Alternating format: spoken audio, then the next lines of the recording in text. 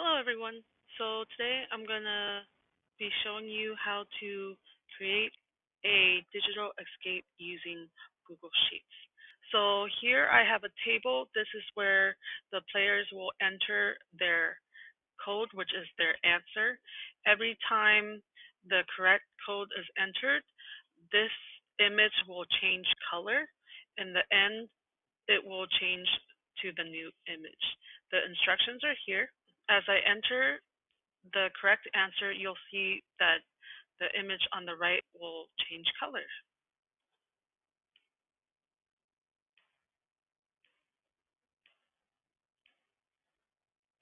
You will see here a clue pops up as I entered one of the codes correctly as well. And then at the end, there's a key. How students will find the clues, they would click on these images to see if there are clues behind these images. So if they double click on the image, this will tell them nothing to see here, so there's no clue there. They can delete that image if they want. Here, major look. There's nothing behind this image. Here I have image, I see that there's a clue. I can enlarge it. And then read the instructions. This is, is clue number three. So I know when I get my answer, I would enter that in clue number three. I can use my right tool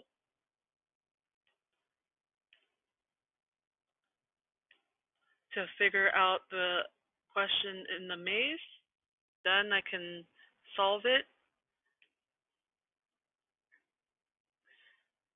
I can have students save their work on this sheet and just move it to another spot.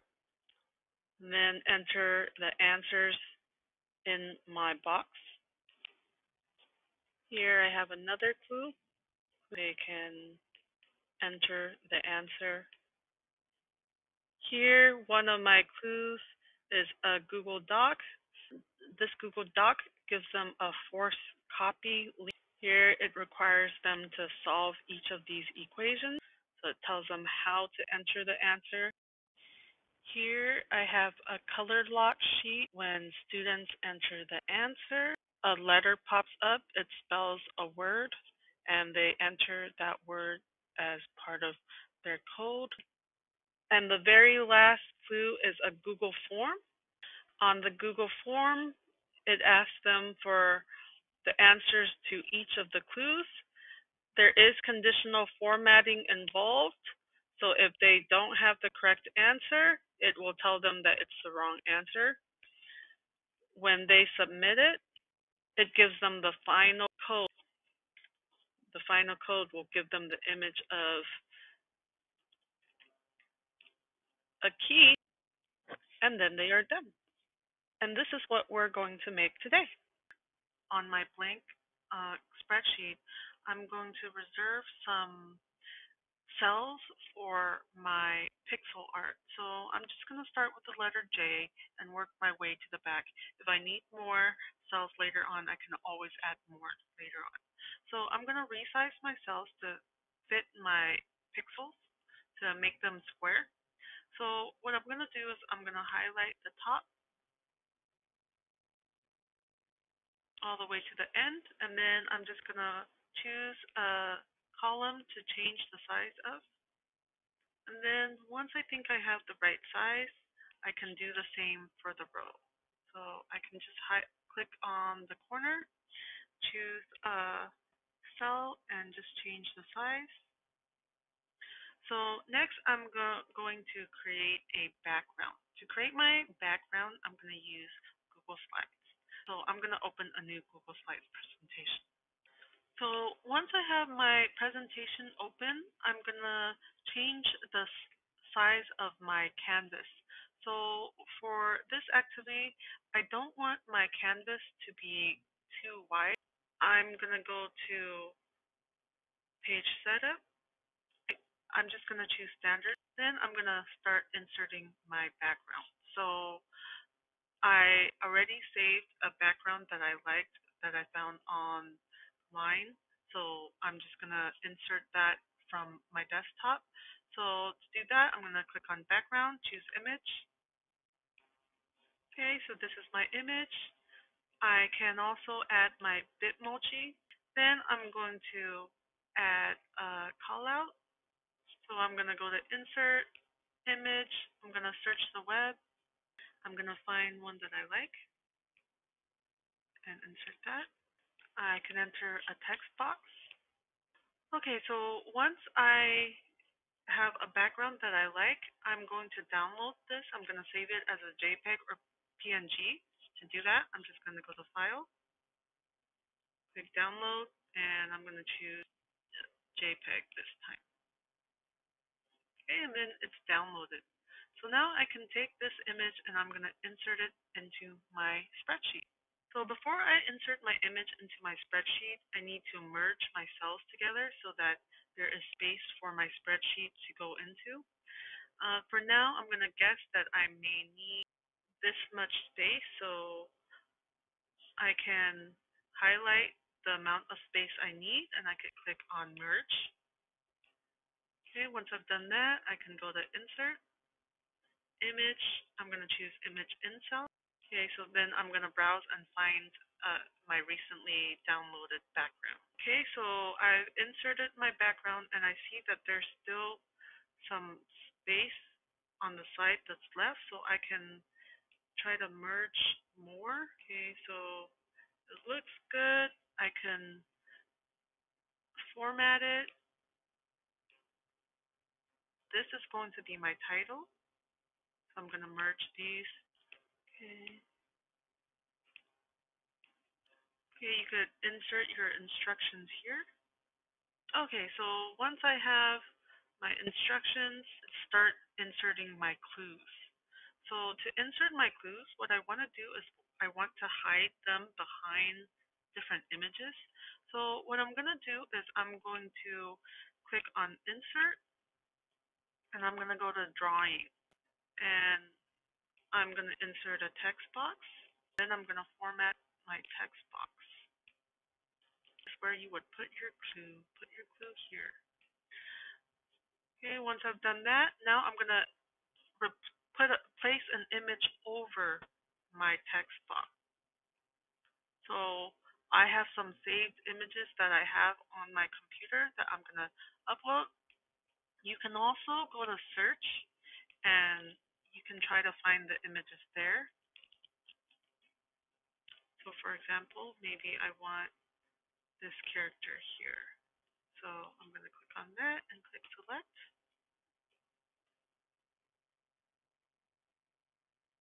Okay, now I'm going to resize it so that it covers my whole text box. There it goes. Once it's covered, save and close. And then I can resize it and place this on anywhere I want. So I'm going to add as many objects as I want. Keep in mind that when you do add your objects, you also want to have objects that don't have clues behind them. So I'm done with inserting my objects onto my background. So now I'm going to create the actual pixel art. So I'm making transforming pixel art. So I have an original image and then a transformed image. So what I want to do is I want to work backwards. So I'm going to make my after image first, and then I'm going to make my before image. So I have already found a pre-created pixel art sample to, for me to follow. So that's what I'm going to use. So here is my pre-created pixel art image. So I'm just going to use this as a guide to help me create my pixel art.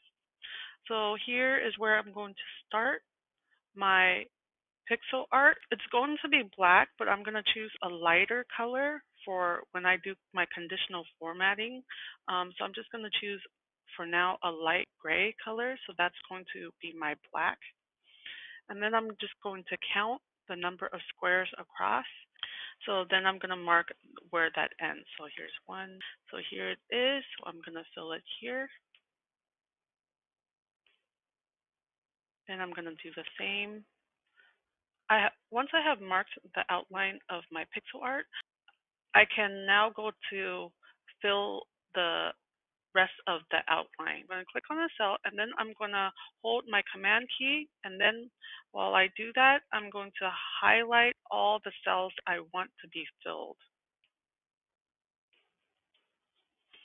Okay, once I've done that, I can then click my fill color and then my whole outline is filled.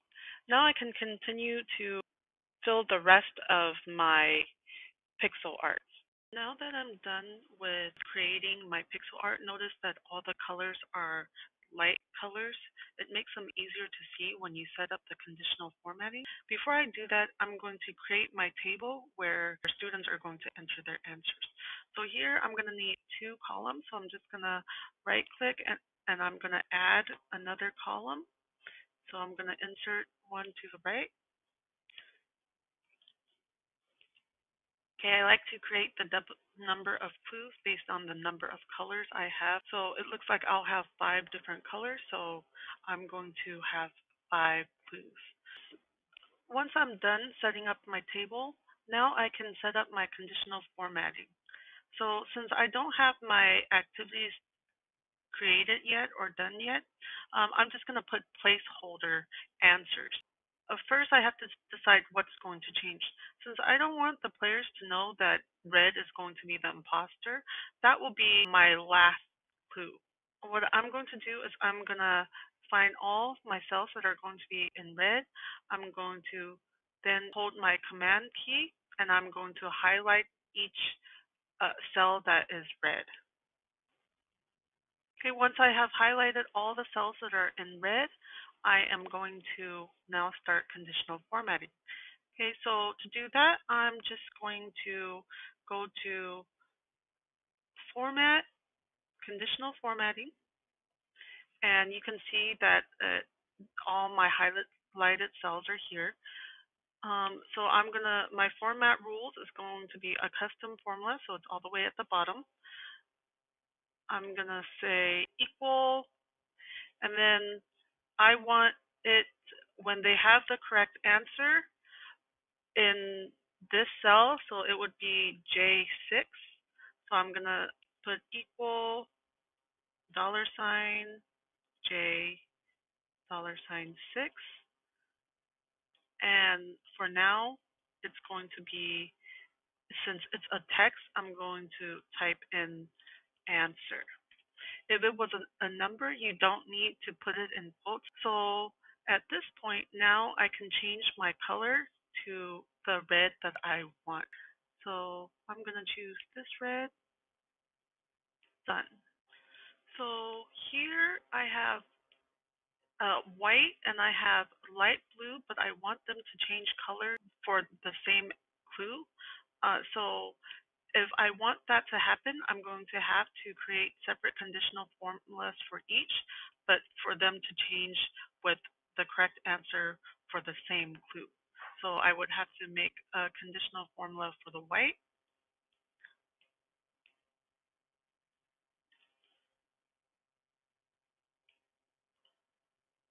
Okay, and then I'm going to have to make a separate conditional formula for the blue, but it will be the correct answer for the same clue, which is clue number two. And if I test my color and I don't like the color, I can always go in and change it. I just click on the, just one of the cells in the range that I want to change, and then click on the the paintbrush. You can see it lights up to the color that you want it to be. And then you go to conditional formatting, and then click on your format rules and then you can change it to the color that you want. Once I am done setting up my conditional formatting, I can check to see if it works.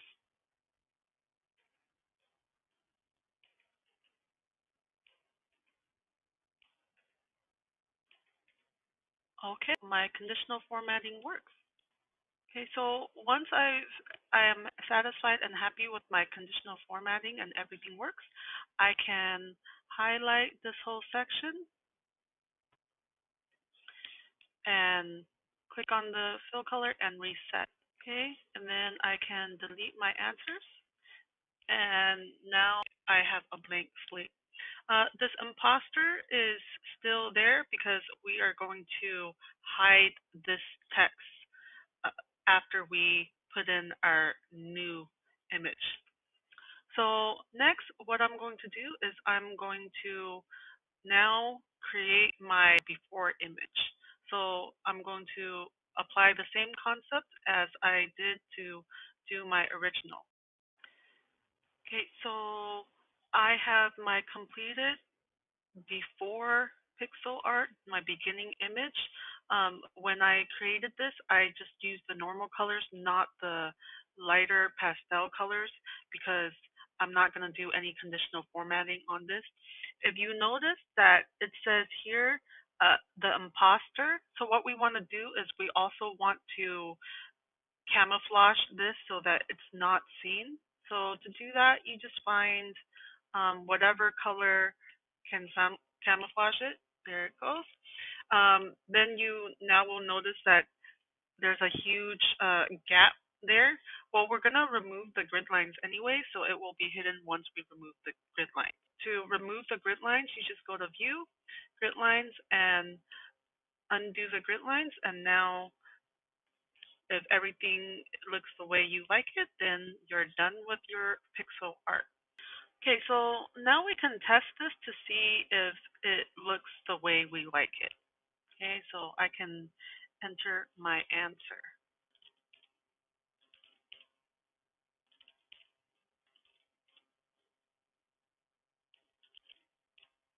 Once you test it and everything looks the way you like it, then you are done. Now you can just have to go and uh, create your clues and insert them into the objects. And that's it.